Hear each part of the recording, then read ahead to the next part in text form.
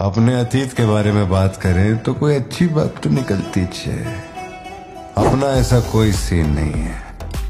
अपने अतीत में अपन ने जाने अनजाने में बहुत सारी मिस्टेक की हैं। उन्हीं मिस्टेक को रिपेयर करने का मेरा आखिरी तरीका था, परिवार। इस परिवार की हिफाजत के लिए मैं किसी भी औकात तक गिर सकता है।